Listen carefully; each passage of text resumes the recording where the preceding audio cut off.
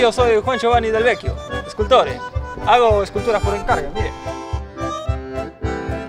¿Por qué un artista como usted hace estas maravillas en un cementerio?